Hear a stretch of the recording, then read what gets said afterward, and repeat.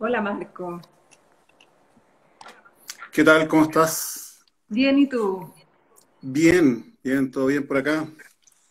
Todo qué bueno, qué bueno, súper. Gracias por acompañarnos, Marco, en este décimo conversatorio Diálogo de la Luz para hablar de luz y arte digital. Eh, también darle la bienvenida a todos los que se están uniendo ahora a esta conversación. Bueno, muchas, bueno, muchas, en primer lugar, como gracias por la invitación a hablar de, hablar de estos, de estos temas que están igual en una etapa incipiente, una etapa, bien interesante de, desarrollo. de desarrollo, de desarrollo y de investigación. Y es muy interesante eso, no, no, hay, no ha pasado mucho tiempo para poder hacer un, no ha pasado mucho tiempo para poder hacer un, estudio de, un, proceso. Entonces está interesante todavía que es, está todo bien incipiente. Entonces está, está muy interesante está, eso. Y está mucho por hacer también.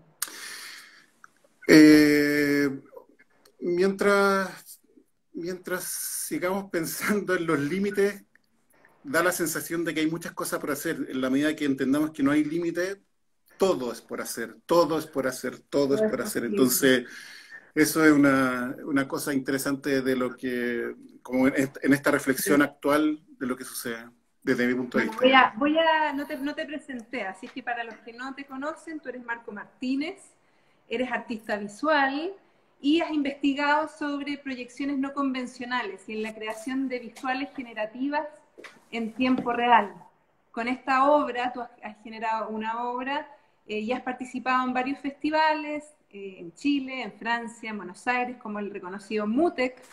Eh, además eres productor ejecutivo de Cursefest, además eres profesor de Siluz y nos conocemos hace muchos años, así mm. que todo mi respeto, Marco, bienvenido.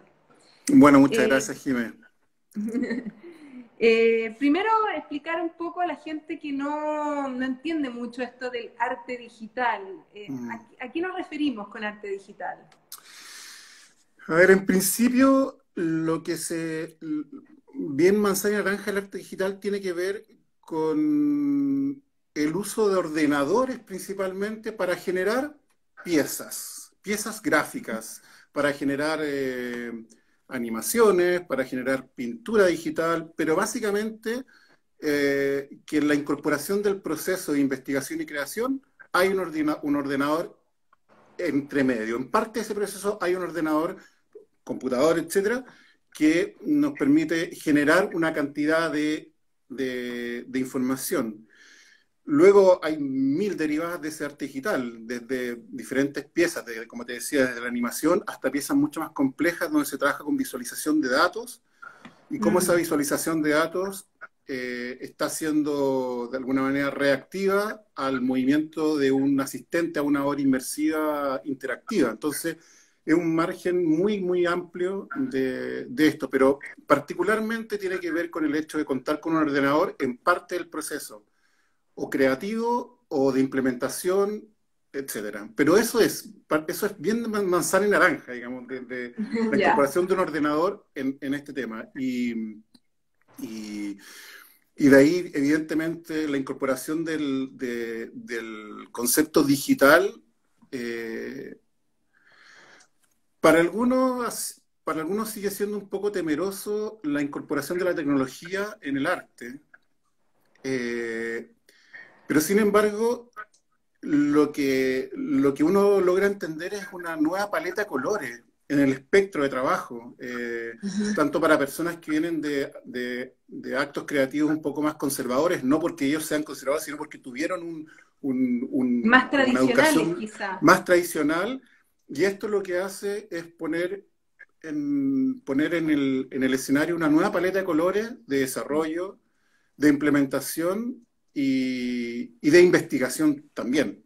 Eh, particularmente me parece que una de las cosas más trascendentales que hoy día eh, o sea, está, está como incipiente el tema de la visualización de datos, como, como eso va generando, como eso se va acercando en un futuro a una inteligencia artificial. Y eso es muy interesante. Ya Y, Generar arte con inteligencia artificial.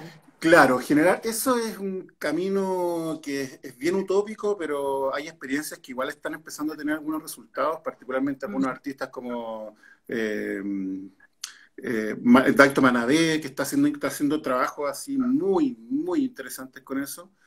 Eh, entonces, el, arte digital viene desde ahí, y de ahí, como te decía, una cantidad de corriente, una, una, corriente más importante de, diversos tipos de piezas y para desde, etcétera, desde arte más gráfico, eh, video arte, eh, bueno, y en fin, una, una cantidad de, otros, de otras eh, piezas que empiezan a tomarse también hoy día el, mundo de la pantalla, particularmente por el confinamiento, como una manera de mostrar ese trabajo. Un ejemplo particular tú, bueno, yo fui hace un par de años a Mutec y vimos el trabajo de Germán Colgen, que es un videoartista canadiense bien importante. Pero a su vez Colgen, eh, a partir de, de, hacer el, de hacer conciertos audiovisuales, eso es, eh, perdón, ese, es eh, Ruichi Kurokawa. Estoy buscando Sí. Exactamente, Colgen, a partir de, además de hacer esto, de estas conciertos audiovisuales, que realmente lo que hizo Mutec fue realmente impresionante. También ocupa la plataforma hoy día para mostrar videoarte eh, y que no es tocando en vivo. Y son obras que, duran 3, 4 minutos, hasta 8 minutos, eh, y que son videoarte. Entonces, esta, esta posibilidad de, de ocupar el video de ocupar el arte digital en distintas plataformas, a mí me, sugiere, no sé, me llama la atención lo interesante y lo versátil que puede ser también. Esta es otra obra de él, ¿cierto? Sí, esa obra se llama Siesmic. Nosotros tuvimos la suerte, fue un viaje que hicimos con, lo, con Andrea y Octavio Gana, y tuvimos la suerte de ver Siesmic y de verdad fue, pucha, que tuve también una, no sé, como que yo, soy muy amante del trabajo de, de, de, de Colgen, y la noche anterior a tocar en el Mutec, por esas cosas de la vida, tuve la posibilidad de conversar con él como una hora en un pasillo, hablando de primero la obra y terminando hablando de la vida con Colgen, desde por qué le eh, gustaba. perdón, ¿es, ¿eh, ¿es, de qué país? Canadiense. Canadiense. Y terminamos hablando de, de, por qué, qué baterista le gustaba, qué cámara fotográfica usaba, cosas que eran muy ya fuera del contexto del, de, lo que para mí significaba el tema, pero principalmente hablamos mucho de la obra, de, hablamos de que hablamos de eh, Fragmentos de un tren, que son obras bien iconos de Colgen. Eh, y él trabaja... a la música también? Está todo, sí, lo que pasa, lo que hace, lo que hace particularmente Colgen es que trabaja en la multidisciplina. Siesmic es una obra eh, audiovisual, un concierto audiovisual de una oración de unos 45, 50 minutos, en la cual tú tienes la imagen, la que tú estás viendo. Colgen en ese minuto está en un mesón con muchos eh, computadores y una cantidad de, controladores que está controlando ciertas cosas, pero además lo que hace Colgen para esta obra es que recibe datos de seis sismógrafos en toda Latinoamérica.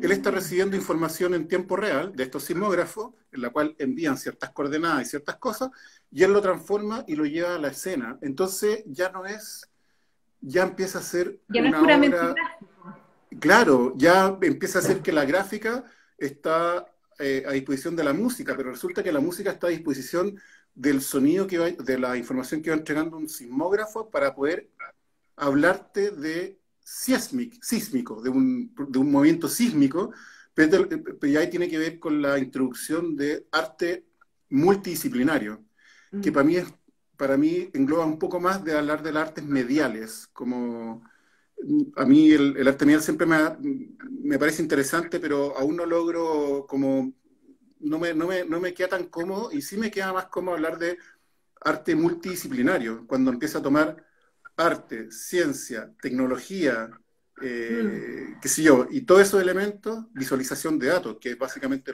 principalmente lo que hace. Cuando nos comenta esto Colgen, porque hizo una suerte masterclass, cuando nos comenta esto, ahí todos entendimos que esto era otro tipo de, otro tipo de expresión artística, que no era un concierto audiovisual, era otro, Claro, que tiene, que tiene todo un contexto y mucho más profundo. Tú hablabas también de, en el tema de visualización de datos, hablabas también de Daito Manabe. Daito Manabe, sí, pues Daito Manabe es un, eh, bueno, nace en Tokio, un artista muy sorprendente. Eh, lo más probable es que algunos de los, de los asistentes a esta, esta conversación hayan visto este spot de Nike, en la cual con dos zapatillas o con, bueno, con una serie de zapatillas empiezan a hacer música, dos como DJ empiezan a hacer música con, zapatillas y una cosa bien impresionante. Y ese trabajo, que uno de los trabajos más comerciales que ha hecho Daito Manabe, es de él. Y eh, en Sonar ha presentado muchos trabajos, eh, eh, particularmente trabajos que tienen que ver con luz láser y con, ese, con eso que estás presentando ahí, que son estas luces que van teniendo eh, son unas esferas de luz que están, que están eh, básicamente las, luces que están de fondo, están siguiendo el movimiento de estas esferas de luz. Eh, y uno las mueve con la mano. tú, tomas esta esfera, tomas esta esfera y la, vas moviendo y la, y la, luz va siguiendo el movimiento de esa esfera. Es un trabajo. Hay, foto de esto. ¿Esto es, lo, sí, la misma Es la misma, exactamente. Mm. Pasa que ahí también hay un trabajo muy particular también de que hace otro artista que se llama Robert Henke, en la cual también quizás algunas de las personas que están viendo el conversatorio, en la galería Kraftwerk de Berlín, él tiene una cantidad de esferas que van subiendo y van bajando y están linkeadas con una luz láser también que la está siguiendo. Mm. Eh, bueno, particularmente, como decía, Daito Manabe está, es un artista también que viene del mundo de las matemáticas, lo cual me hace como que amplía un poco el horizonte a, a, las búsquedas previas antes de decidirte si quieres tomar el mundo del arte visual o no, digamos. O sea, él viene siete años de matemática, o sea, perdón, siete años de, de composición musical y después estudió matemática aplicada. Y luego lo dice de una manera muy insólita, dice, y luego aprendí algo de arte en una escuela de arte mediana algo de arte. Para él como que fue eso. el arte secundario casi, como que lo define más de la matemática. Exactamente, el arte es como para, para él es como un poco más secundario. Eh, y claro, ha sido como nominado entre los, de los 30 artistas más contemporáneos del último tiempo. Y en fin, y de Daito Manabe hay millones de otros, como, no sé, soy muy fan de Ruichi Kurokawa, eh, bueno, en fin, y de otros artistas que después quizás podemos ver, ¿no? pero sí. eso un poco. Sí, cuéntanos un poco, eh, porque hablabas de Mutex, ¿cierto? Mm, mm, de mm. cómo, cómo, había sido tu experiencia en Mutex. Fue una experiencia, fue una experiencia sorpresiva, de alguna manera, no esperaba esa invitación. Eh, hace una invitación para presentarse en el festival en, el, en un lugar que se llama Palacio Alcina, que después nos dimos cuenta que había sido una antigua iglesia y que después fue una discoteca gay que se llama la discoteca Inferno en Buenos Aires, fue muy grosa en su, en su, época.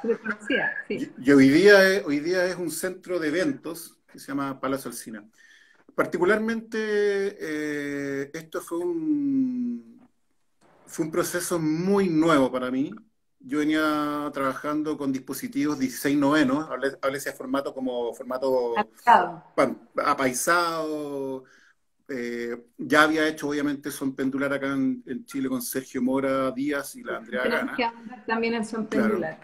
Ya habíamos visto eso, pero nunca me había tocado eh, desarrollar una pieza audiovisual para una pantalla de 55 metros de altura o de largo por 5.5 de ancho. Entonces era, era un filete, era un tallarín. además era, era, como que giraba, ¿no? Era muro y cielo. E, exactamente, muro y techo. Muro y techo. y muro y cielo, digamos, perdón. Muro y cielo. Entonces, eh, era... Al comienzo me costó, me costó un tiempo entenderlo técnicamente, pero después fue como el desafío, bueno, ya técnicamente lo entendí, ahora el desafío, ¿qué, historia contar en esto? Mm. Y en eso fue un proceso de trabajo de aproximadamente tres meses, desde que llegó la invitación eh, hasta que nos presentamos con Andrea Gana, eh, con una obra que se llama Navas, un accidente geográfico, un concierto que duró cerca de 40 minutos. Y, y eh, te diría que el, que el, desafío mayor eh, el desafío mayor de, presentarse en MUTEC tiene que ver también con el relato que estáis contando. No, no, no, no, sé cómo explicarlo, no es, no es solo como que pueda sonar muy bien o que se pueda ver muy bien, sino que ambas tengan una, una, una, una coherencia, ¿no? Claro, y, y, nosotros a la par con Andrea había una historia, un, un, background de una historia, una persona que empezaba a tener ciertos problemas mentales y empezaba a tener ciertos recuerdos, y eso era un escrito que teníamos con Andrea, y esta persona empezaba a perder ciertas partes su noción desde el sabor, y empezaba a quedar solamente la escucha. Entonces, toda esta conversación, de que era un cuento que nos tuvimos que inventar con Andrea, lo empezamos a llevar a cabo en esta imagen. Y entonces, había un momento que esta, esta persona finalmente moría, entonces, ¿qué pasaba gráficamente con esto? En fin, entonces había un relato que nosotros fuimos creando eh, durante tres meses aproximadamente. Eh, y ahí es muy interesante porque la investigación no fue solamente de hablar de la cosa visual o la cosa auditiva. Ahí tuvimos que investigar qué eran las navas. Y las navas son unas, unas malformaciones geográficas que se producen en los Alpes en Europa, en donde se sulfata muy rápidamente por, el, por, la, por, la, por los cambios de marea. La roca se sulfata muy, muy rápidamente y va generando abajo un mar o sea, por decir, un, un, fondo de mucha roca sulfatada. Y eso finalmente generaba que las napas, las mejores napas subterráneas en Europa se encuentran bajo las navas. Entonces la importancia ecológica, la importancia del ecosistema que había con eso. Y protegen las napas subterráneas. Exactamente, las protegen y, el agua que, que, cae viene extremadamente filtrada. Entonces la importancia de esto frente a las comunidades eh, aledañas, ya sean comunidades, el hábitat humano o hábitat eh, de fauna, flora y fauna, es muy rica, de muy rica, de muy, de, está muy bien alimentada, por decirlo de alguna manera, ¿cachai? Entonces, esa investigación eh, tuvimos que hacerla previamente, o sea, como que llegar a, esa, a, ese, a ese rollo fue parte del proceso siguiente. Entonces, hay una investigación que nos metimos derechamente en un tema que no habíamos abordado antes, particularmente con esto, que tenía que ver con el tema de la ciencia. Entonces, ese era un caso particular. Con cierto tocamos un día, como de dónde viene la inspiración, ¿cierto? Y de, que siempre toda obra, cuando es obra de arte, tiene una inspiración. Eh, los artistas le llaman el statement, que eso también diferencia a una pieza de diseño a una obra de arte, o no sé, o a una pieza audiovisual solamente, eh, o una pieza de arte digital. Sí, que es como, sí, sí, es como el statement, es verdad, como... Y también un poco lo que... El, el ¿Qué pasa en la investigación también? Claro, que eso, eso te iba a decir, como que tiene que ver también mucho con, con la investigación que hay detrás. Y esa investigación puede ser súper eh, formal, ¿ah? como a partir de esto ya, o también puede ser muy aleatoria y que responde y que va respondiendo también a, a, intereses que uno los va forzando también. Yo como que nunca me he cerrado mucho a ese, a ese recurso como la investigación, tiene una hipótesis y uno entra, hay una cantidad de cosas que son más formales, que me parecen súper adecuadas, pero yo respondo harto al impulso, como estoy con esto, me llamó la atención eso y dije, ok, y, empiezo a trabajar por impulso. Y, después cuando ya logro entender que algo me está emocionando finalmente, es cuando digo, mm, esto creo que es. Y de ahí continúo en, en investigación. Es bien intuitivo también. Sí, sí, de hecho, de hecho te diría que para el trabajo de Navas, eh, Andrea no estaba en Chile en ese minuto, entonces la primera, la primera etapa de trabajo la hicimos a distancia y yo habría generado unas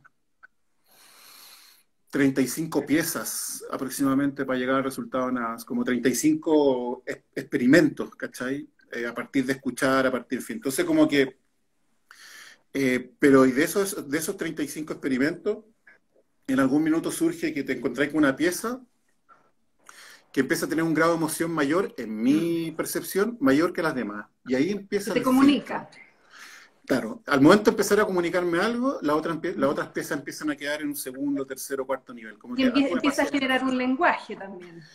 Exactamente, y ese lenguaje, eh, eh, ese lenguaje es el que empieza a, fluir muy bien con la música, también como mm. de música para este caso era, era como música abstracta, más ambient de alguna manera, pero en, ciertos, en ciertas partes de la obra eh, poníamos todo arriba, una cantidad de beats más o menos impresionante.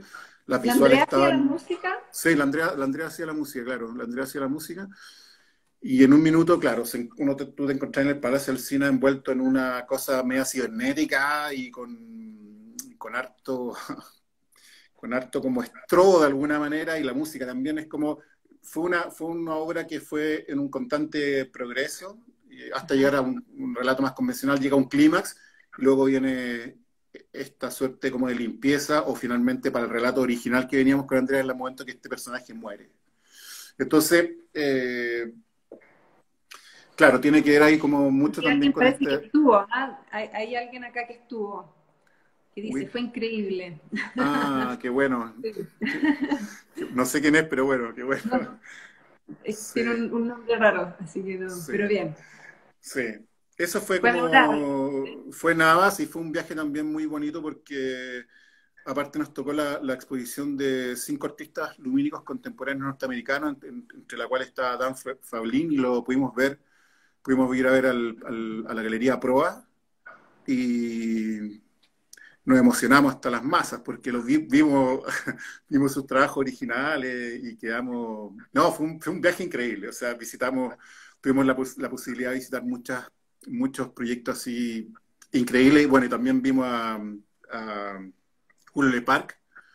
Entonces, ah, no, no, sí, Pero claro, eso es, eso es, claro, es arte que, que uno pensaría que es digital, pero es completamente análogo. Bueno, el arte, claro, claro, y arte cinético. El movimiento, sí, arte cinético, arte, movimiento con motores. Claro, en su máxima expresión, arte cinético, pero de verdad hay una obra de, Le Parc que era una, un círculo gigante hecha con, yo creo que son una especie como de, hilo de pescado muy delgadito, pero que generaba una, malla y con unos motorcitos muy mínimos, muy a una luz. Y uno decía, no puedo creer lo que estoy viendo. O sea, era una cosa análoga y tú decís, no, ya, este es otro rollo. Bueno, Le Parc era otro rollo, es, es otro rollo. Entonces, fue un viaje La que te dio bueno. que es Julieta. Ah, la Julieta, Julieta, claro, sí, pues ya no, muy buena onda, estuvimos ahí con ella también, con la Julieta, sí, sí, sí nos ayuda también ahí. y, cuéntanos un poco de, Son Pendular, que es otra, es otra obra que la, han hecho dos o tres veces. Sí, hemos hecho tres versiones de Son Pendular. Eh, la primera la hicimos el 7 de agosto, el 7 de julio, el 7 de agosto del 2018. Y de ahí hemos hecho versiones los eneros de cada año. Eh, es una obra de carácter inmersivo, que significa que en este caso estamos tratando de que los 180 grados de tu de tu de, tu campo visual. de tu campo visual puedan estar cubiertos y particularmente para esta última edición de Son Pendular incorporamos sonido cuadrafónico. Entonces también eh, al comienzo fue visual, después entonces ha ido aumentando y hoy día... Claro, esa fue la segunda versión, incorporamos ahí ocho gongs con, eh, con, los gongs mágicos. Eh, eh, yo creo que con ellos fue un trabajo interesante porque no solamente fue el hecho de trabajar con, con, los, con estos gongs, sino el hecho de trabajar cómo funcionaba la luz en, en, en, el, en, refracción, o sea, cuando apuntábamos con una luz a este gong y este gong se movía, lo que mm. empezaba a suceder en el campo visual era algo era algo nuevo, de hecho, para nosotros. Fue algo nuevo también para ellos, porque en un minuto también empiezan a tocar de cierta manera y el movimiento también nos generaba cierto movimiento visual, cierto movimiento auditivo. ¿Y eso lo descubrieron en los ensayos? ¿Cómo lo descubrieron? Eso fue que... no, eso fue al inicio, mucho tiempo antes de hacer este son pendular, eh, tomamos un workshop con la Andrea de Gongs. De hecho, estuvimos un fin de semana entero tocando gongs conociendo el instrumento, escuchándolo, eh, viendo los movimientos, y sé yo. Y ahí empiezan a surgir estas primeras ideas. Oye, ¿qué tal si a esto le ponemos una luz? ¿Y qué tal? ¿Cómo, cómo sería? Y, ahí te empecé a hacer todas las... Ahí empecé, claro, y como tení, tuvimos un fin de semana todos los días, o esos del sábado y domingo, veíamos lo que estaba sucediendo, nos llamaba la atención, sacábamos fotos, filmábamos y después dijimos, bueno, esto puede funcionar muy bien si tal cosa. Y claro, llevar ocho, llevar ocho gongs a cualquier parte no es gracia. Entonces, como que mm. tuvimos que un día antes, cuando instalamos todo, nos dimos el tiempo de, de probarlo. Y ahí como que tuvimos la suerte de que lo que nos estábamos imaginando versus lo que estábamos viendo estaba muy cercano. Eh, y en este caso, la última versión fue eh, trabajar con la, trabajar un poco con el estímulo sonoro de los, de los participantes. Eh, particularmente tener un sonido cuadrafónico. Gregorio Fontaine tuvo a cargo, él fue un, el artista, un artista invitado y él estuvo a cargo de espacializar el sonido, entonces eh, por primera vez también a nosotros tuvimos, tuvimos la posibilidad de tener monitoreo, significa monitoreo, son estos parlantes que se ubican hacia los músicos, los, visualistas, para poder escuchar una referencia. El, retorno. El retorno que le llaman. Entonces, nosotros tuvimos la posibilidad de tener un retorno 5.1 también. Entonces, era muy. Era bien. ¿Qué significa eso? Que, que de muy buena calidad. O sea, que, que en vez de estar escuchando un sonido frontal, acá estábamos escuchando en, las cuatro esquinas del, del altar donde estábamos nosotros, los sonidos en forma independiente. Voy a poner una foto del altar. Ah, Justo se ve tapado por mí. Claro, bueno. Eh, y ahí está Sergio Mora. Está Sergio, Sergio Mora. Y ahí básicamente tenemos un sonido que nos va envolviendo. Entonces lo que, lo que nosotros estábamos recibiendo era también lo que estaba escuchando el público afuera, en términos de entender dónde estaba saliendo el sonido, por los dos parlantes de atrás, por los dos parlantes de adelante, o, o, o, el, o, la espacialización entre 60. Entonces era muy interesante esta última versión. Y obvio que he tenido, obvio que es una, una obra que, que está en constante evolución. Eh, eh, siempre estamos sedientos de seguir incorporando nuevas cosas.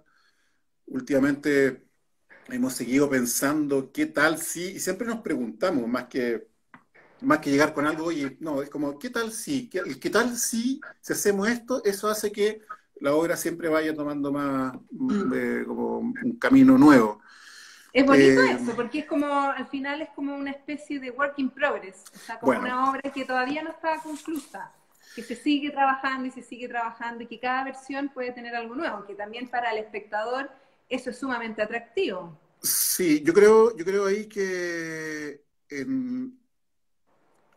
a diferencia de las artes más tradicionales, la arte de medios, las artes mediales, eh, tienen eso, que siempre va a ser una experiencia nueva, siempre va a ser una experiencia nueva. En el caso de nosotros, pasa porque todo lo que se hace se hace en tiempo real, todo. O sea, la, Andrea va generando la música en tiempo real, yo y Sergio vamos generando la visual en tiempo No es un play y nosotros somos tres personas que estamos monitoreando que un proceso funcione.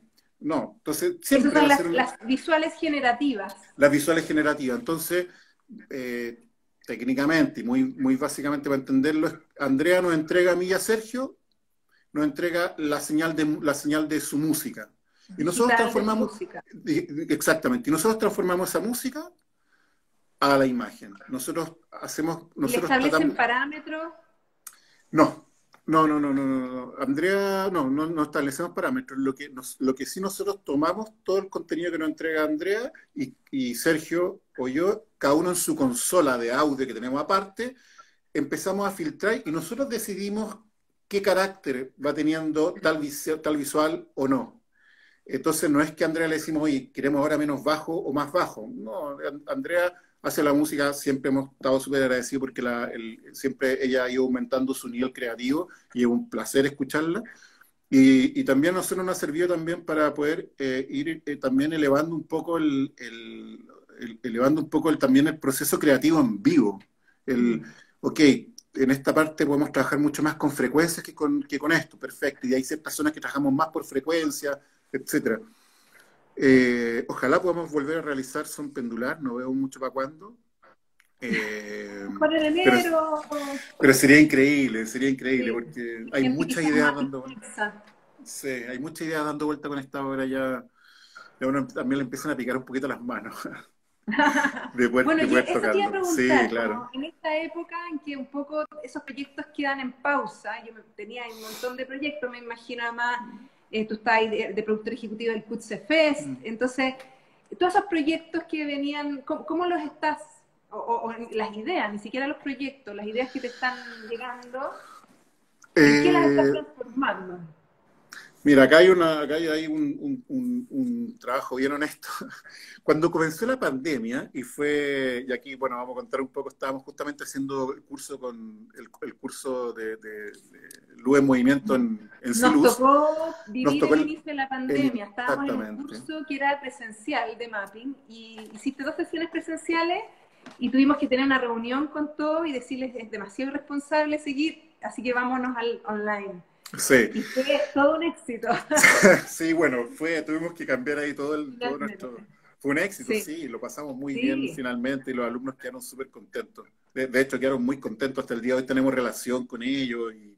No, fue súper bueno, súper, súper bueno. De hecho, fue un descubrimiento también para todos un poco, porque era la primera... Y, y había que hacerlo. Y había que hacerlo.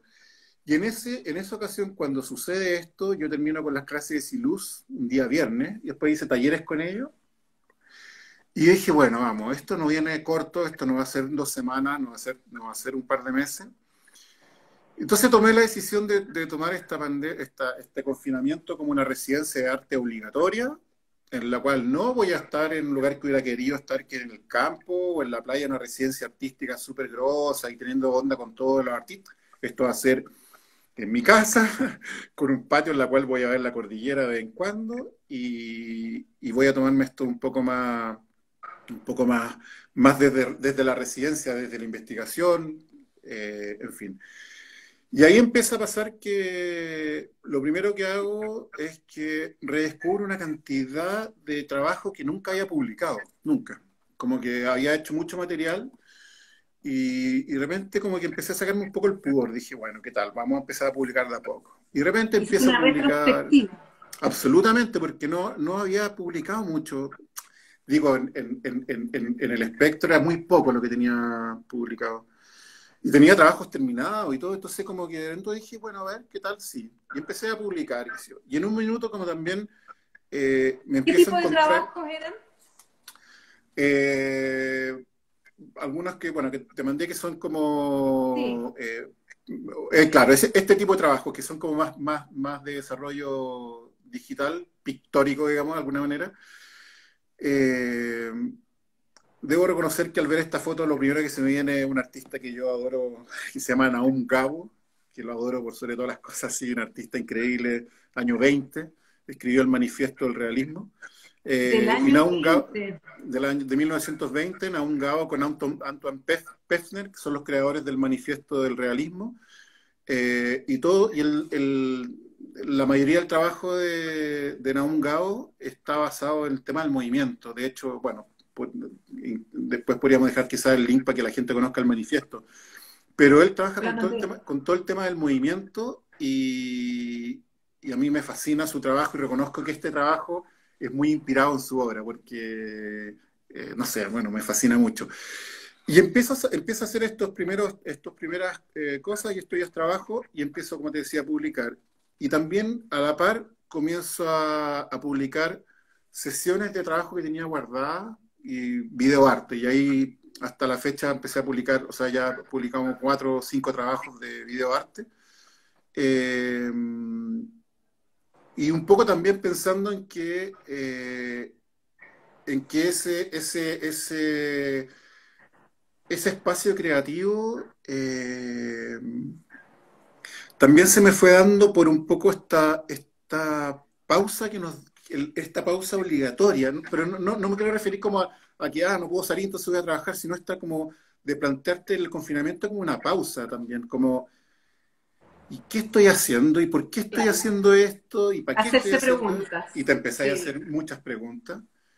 Y en eso mi respuesta, eh, que me imagino que muchos también han pasado días buenos y días malos, mi respuesta, bueno, a mí lo que me salva es, el arte visual, me salva, me,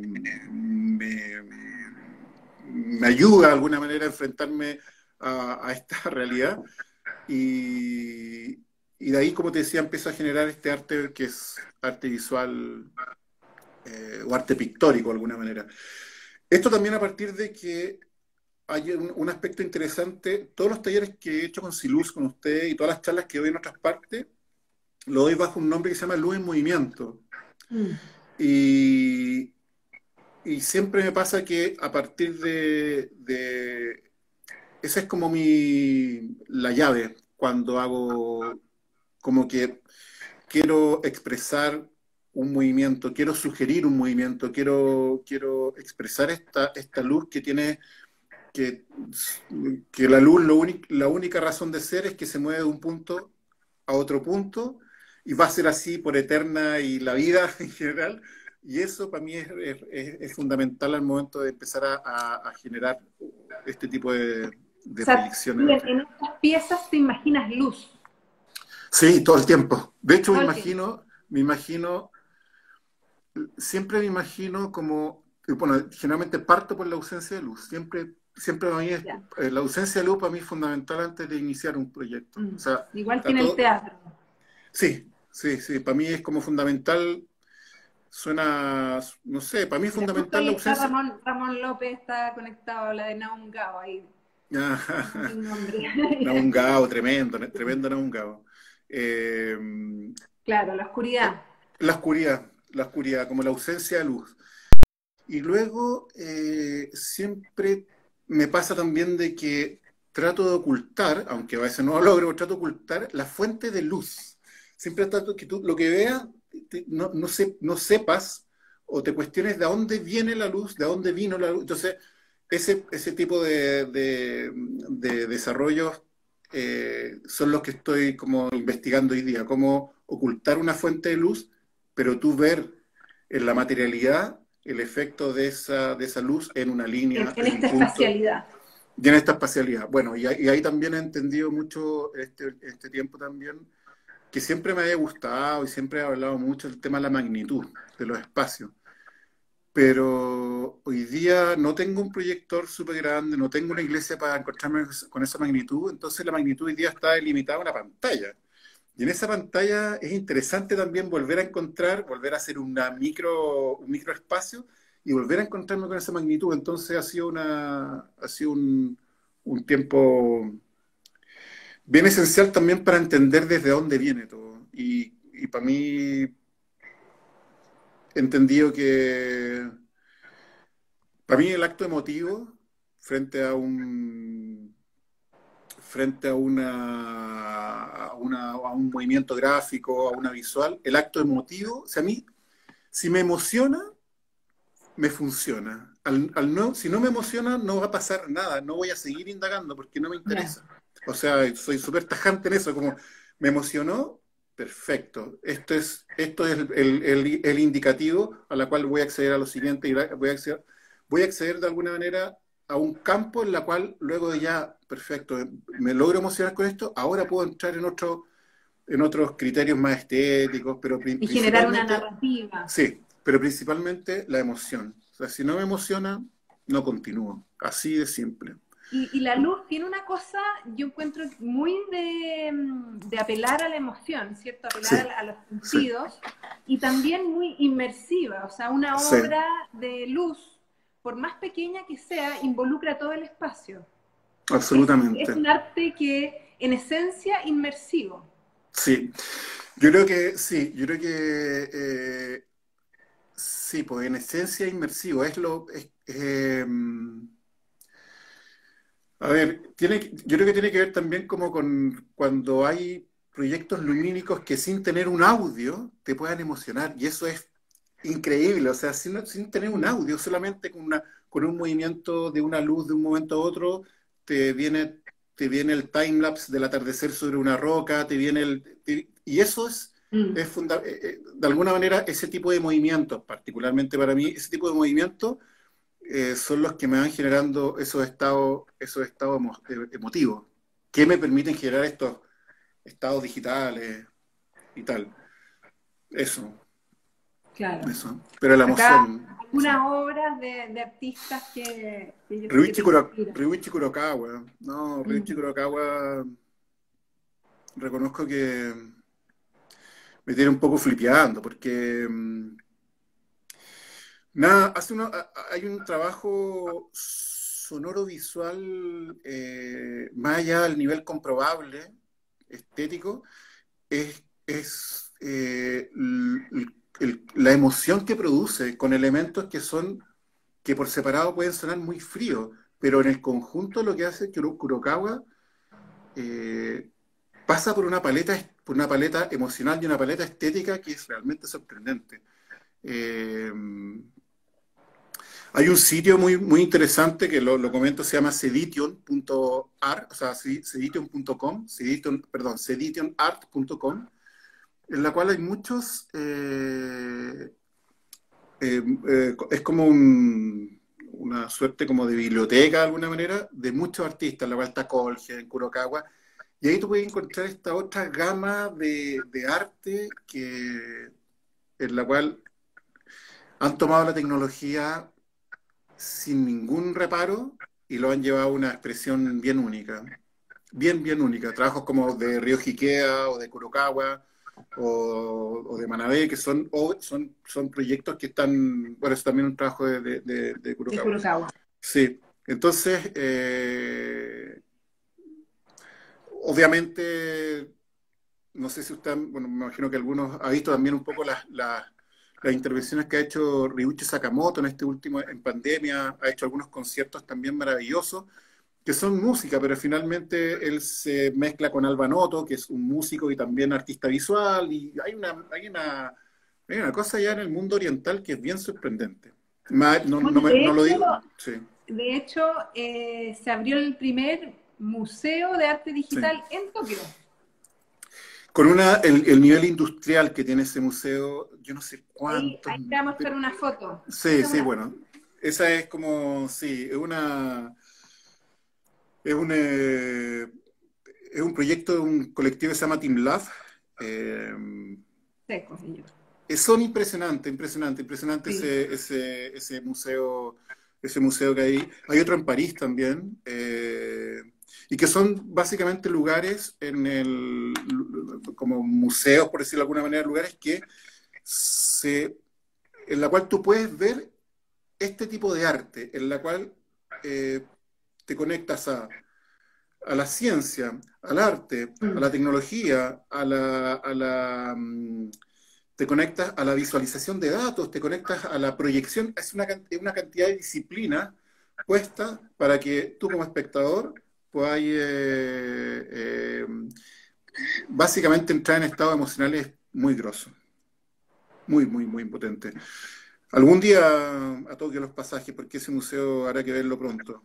Vale la pena verlo, ¿cierto? Acá sí. fotos increíbles. Sí, sí, sí, vale la pena. ¿Perdón? Es como una experiencia.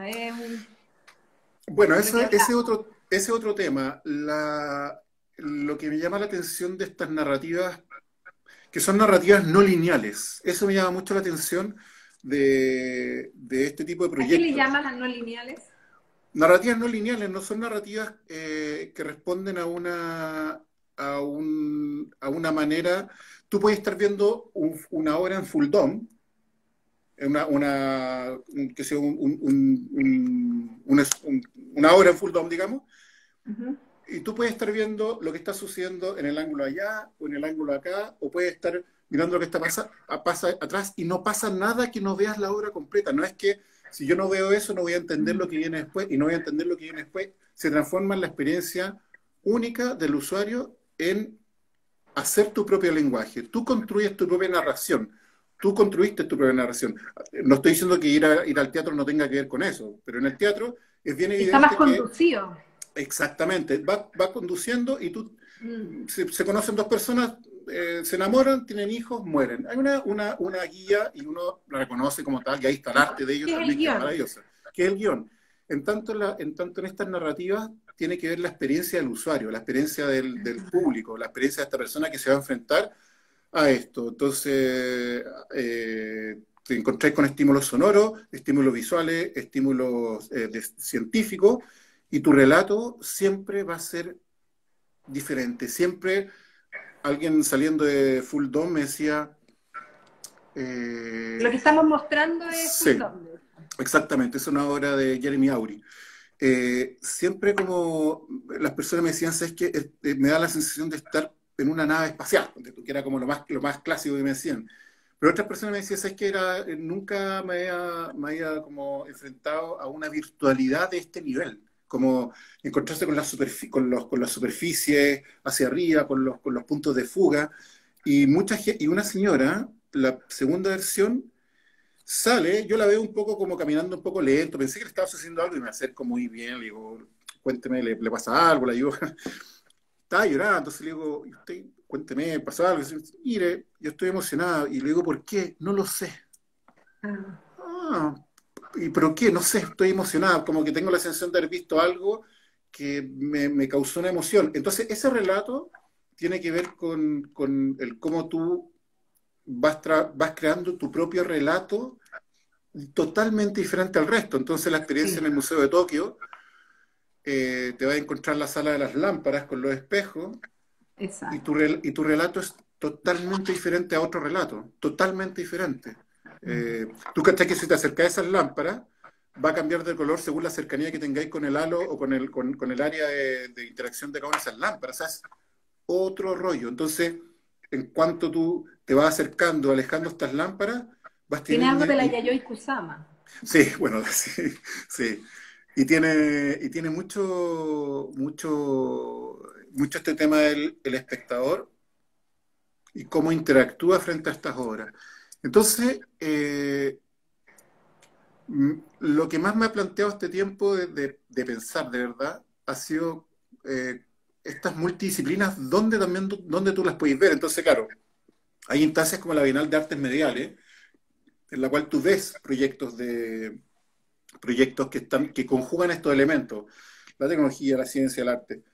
Eh, hay otros proyectos como el Festival de la Luz, el Festival, el CUSE Festival de la Luz, en la cual te vas a encontrar con disciplinas diferentes. Esculturas lumínicas de la Paulina Villalobos, eh, realidad virtual de Octopus, la, intervención a los movimientos de, un auto a través de luz láser de Roy McDonald, eh, una, una pantalla LED gigante que sí o solo sí funcionaba según la interactividad que tenían los, los espectadores frente a un controlador eh, Oscar Yauquén te presentaba un cubo de luz que funcionaba así, solo así si el espectador entraba adentro y bailaba. Mm. Entonces, eh, después te encontrás con un concierto audiovisual de vigas en 3D sobre la fachada del Museo de Arte Contemporáneo de Quinta Normal. Entonces, ahí tú te vas dando cuenta como, eh, como las instancias como CUSE o instancias como la Bienal son lugares en los cuales puede acceder cualquier persona y, empezar a, quizás, para las personas que están como interesadas, a, a, indagar, a investigar un poco este tema. Eh, bueno, siempre el MAC ofrece obras, el Museo de Arte Contemporáneo ofrece obras que están ligadas también a las artes mediales y que vienen, muchas también vienen, vienen cargadas de, la expresión de videoarte de los años 60, años 50, pero son los orígenes de, entonces también son sumamente respetables. Yo me las disfruto, o sea, sigo yendo a ver eh, obras más de videoarte y lo paso increíble. Y no sé, después voy a ver obras como Simón y uno dice, bueno, ¿y esto qué es lo que es? Es un arte medial también y que tiene que ver con, con otras. Entonces, instancias como... Se producen distintas variantes también. absolutamente, absolutamente. Las distintas variantes y distintas como eh, propuestas que no tienen que ver con una narrativa. Propuesta. Esto es mi propuesta y en esta tú verás tú, a través de lo que yo te estoy proponiendo, tú verás, tú verás cómo construyes tu relato, tú verás. Y ese, ese dominio me parece que es el dominio más el dominio contemporáneo a la cual creo que las artes tienen que dirigirse. Al, al, que sean a, la arte que no haya límite, que no hayan límites. Eh, y en eso lo que hace Team Lab es grandioso en Tokio. Y, eh, y, también hay otro museo similar en Miami, Arte House. Ah, el, claro, el Arte House. Que es lo que estamos viendo acá. Exactamente. Es un, está en Washington también, creo que la otra vez, la otra vez escuché una entrevista al, al, director, muy interesante. Eh, sí, pues el Arte House también es una super plataforma, es una plataforma inmersiva. Eh, a, veces son proyectos interactivos, otras veces son solamente proyectos, son, son salas expositivas pero tiene ese corte inmersivo sorprendente, digamos. Sí, sí. Exactamente. Sí, bien impresionante. Por eso digo que el, arte house es como... Eh, es una, yo, yo, diría que actualmente el arte house es como a, escala, es una de, la, de, de las instancias más relevantes así junto al, de Tokio, son instancias... A ese podríamos ir, que es un poquito más Sí, por supuesto, y, de pasadita al Kraftwerk de Berlín. Me, me pasa que el, el de, Berlín, pero...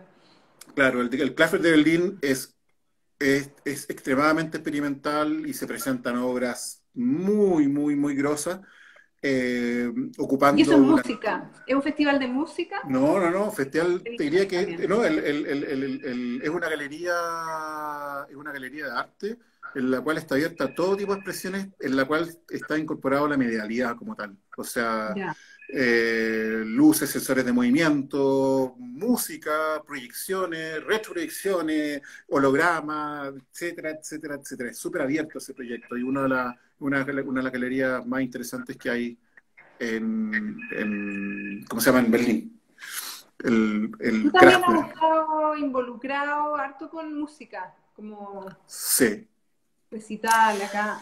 Sí, tengo ahí como la... Sí, yo creo que todo parte un poco con la... Bueno, ahí con los electrodomésticos. todo partió acá en los cabezas, Sí, Carlito. eh, yo antes de, de, involucrarme en la, en la, arte de medios, eh, vengo del mundo del documental y trabajamos con Sergio Castro, hicimos varios proyectos y uno de los principales fue Electrodoméstico El Frío Misterio, un documental que presentamos en, INEIT y tuvimos el privilegio de ganar ese festival y todo. Eh, los dos muy fanáticos de la música y en un momento surge esta necesidad a partir de una grabación de los electrodomésticos en el, Museo, de Arte Contemporáneo, en el Bellas Artes, perdón. Oye, va a tocar, vamos a ir a filmar a los electro, ¿qué tal si nos lanzamos a hacer visuales? Y fue mi primera como salida al mundo, digamos fue como, uy, qué interesante, bueno, frotemos las manos y vamos al rock and roll. Lo hicimos, fue súper, súper bueno, y, de ahí estuve con ellos como durante tres años haciendo trabajos con... Y de ahí se desplegó muchos conocidos también con, bueno, Cuti Aste, Claudio Pérez, eh, Android, bueno, ahí estábamos con Silvio Paredes tocando en el Festival de la Luz de Talca. Eh, Claro, como decía Claudio Pérez, Cristian Reyes de Android, en fin, como mucho, mucha experiencia. Y mi última experiencia así tocando con un proyecto fue un, proyecto que se llama DMI, dentro de uno mismo, eh, la cual partí, estuve, en la Génesis y, luego abandoné el proyecto y fue como lo último que hice, así de, estar ligado como al, al, concepto más de... No me gusta el concepto del BJ, del eh, nunca me, me sentí muy cómodo, pero entre, bien básico, como que fue mi última expresión ahí con el, en la cosa visual de bandas. Ahí está, Claudio, ¿qué está escuchando? Ah, sí, con, con, Claudiño, sí, y, y, eso como te decía, y también ahí tocó, me tocó hacer también visuales a Lee Ronaldo, el guitarrista de Sonic Youth, también, eso fue bien, bien eh, interesante. No sé, tuve buen rollo ahí, lo pasé muy bien. Eh, te diría que la, mayor experiencia que tuve con los electro, particularmente, que, con los que toqué más veces, fue que nunca ni Carlos ni Silvio me dijeron, eh, oye, para este concierto hay que hacer estas visuales o estas otras visuales. Ellos tuvieron la tuvieron como el cuidado de dejarme totalmente libre a lo que yo quisiera. Y después lo agradecía mucho. Entonces, tengo, tengo tuve la suerte de encontrarme también con otros, con otros colegas, en la cual todos estamos apuntando a algo que era incipiente, era más o menos nuevo, y nos dejamos también la libertad de trabajar y actuar. Y eso fue un, eso lo agradezco harto a ellos, a, Silvia y a Carlos. Confianza absoluta. Sí, y arrojo, y riesgo. Claro. Sí, claro. Sí, sí, sí. Oye, Marti, ¿te ha tocado alguna vez eh, trabajar en algún proyecto relacionado con cine? Esta es una pregunta que nos está haciendo Víctor Pewi. Sí, pues trabajé, a ver, en cine no, es que hice documentales, pero no sé ahí a qué, se En el mundo audiovisual. El mundo audiovisual hice Electrodoméstico, El Frío Misterio, todos coproductor ejecutivo y en el caso de Electro hice un, par de otras funciones. Después hicimos eh, A Day with Tortoise, un día con Tortoise de la banda norteamericana. Eh, una, gira increíble. Después hicimos un fotógrafo y después hicimos ocho fotógrafos. Yo alcancé a hacer cuatro documentales, hicimos cuatro documentales con Sergio. Eh, agradezco muchísimo, fue una época que estábamos viviendo juntos y que, empezamos a desarrollar este tipo de, experiencia. Y agradezco también mucho porque, porque al cabo del cuarto documental yo ya estaba con esta inquietud. Yo estaba con esta inquietud de las visuales, ya estaba, me estaba tomando más, mucho más eh, eh, espacio el tema visual. Y en un momento soy súper honesto, que hoy día es mi, amigo hermano, digamos, y le digo, Sergio, buena onda, pero sabes que yo voy por este otro, este otro camino y increíble, o sea, hoy día nos seguimos viendo muy seguido con Sergio y Sergio sigue haciendo cine yo estoy metido hoy día en el, en el arte visual y súper contento con la decisión. Sí, pero ese es mi, mi, camino en el rubro del cine, o sea, el desarrollo de documentales. Buenísimo. Oye, Marco, se nos acaba el tiempo. Sí. Eh, sería interesante, bueno, contarle también a los que nos están viendo que tú vas a hacer ahora un curso de arte digital que va a estar en, agosto. Sí. Eh, ya he hecho como, no sé, ¿cuántos cursos en Silus? Como cinco, por ahí. Cinco, creo que cinco cursos, sí, ya, muchos, ya, ya tenemos como una camada, unos 30 alumnos. Sí, sí, no, Ha, sido, ha sido de los cursos más solicitados. Eh, gran profesor, todos los alumnos siempre han terminado sumamente contentos contigo, incluso en, en, la era online que nos ha tocado ahora. Sí, eh, sí. Así que bueno, muchísimas gracias por todo lo, conversado, por este mundo que, nos abre de arte digital que ha sido fascinante. Eh, y también agradecer a todos los que nos acompañaron hoy día. Ojalá podamos también potenciar una, una escena local de arte digital o arte medial. Sí, eh, y para, un poquito para cerrar, yo, yo mm, ah, estoy súper contento de lo que está pasando. Hay muchos colegas haciendo cosas muy interesantes, o sea, podríamos pasar toda tarde, pero Octopus está full haciendo cosas, eh, Noctuari está haciendo cosas maravillosas. Bueno, para qué hablar de D-Light Lab, que he tenido la suerte de trabajar con ellos. Eh, me, tocó, me, tocó, ser como artista invitado a, las primeras intervenciones de Telefónica en el mes de octubre y ahí a partir de esos muchos trabajos hacemos con ellos. Hay mucha gente, muchas, yo creo que yo creo que es, hoy día en Chile está hay mucho inquietud y mucha gente formándose, investigando y haciendo cosas y eso Estoy, apareció una plataforma hace poco que es la, plataforma Arte Electrónica Chilena que lo, lo lidera los Trimex, una plataforma pero increíble en la cual están abriendo una cantidad de contenido y también están impulsando el nacimiento de una escena. Yo creo que la escena existe y siempre va a tener esa, comillas, precariedad del hecho que vivimos aislados del mundo, con una cordillera que nos mide 3.000 metros y siempre vamos a estar un poquito aislados. Pero en esa escena, hoy día lo que yo veo, no solamente a nivel local de Santiago, sino en otras partes, en Punta Arena, Concepción, Valparaíso, Antofagasta, uno empieza a darse cuenta que, que ya... están pasando eh, cosas. Y que son, y que son fueron alumnos y que hoy día son autores. Y eso tú dices, buenísimo, eso. Así que muchas gracias. Se nos acaba el tiempo, Marco, antes de que se nos corte. Muchísimas gracias, siempre nos falta el tiempo, ya nos volveremos a cruzar en algún otro conversatorio. Muchas gracias, Marco, muchas gracias a todos. No sé si alcanza a decir cómo se llama la plataforma. Eh, Arte Electrónico Chileno, A-S-A-E-C-L. Arte Electrónico Chileno. Ah, lo logramos. Muchas gracias, Marco, y gracias a todos. Esto va a estar eh, grabado, va a quedar en la página de Instagram de Siluz. Muchas, muchas gracias. Muchas gracias. Y nos vemos. Vale, gracias. Chao.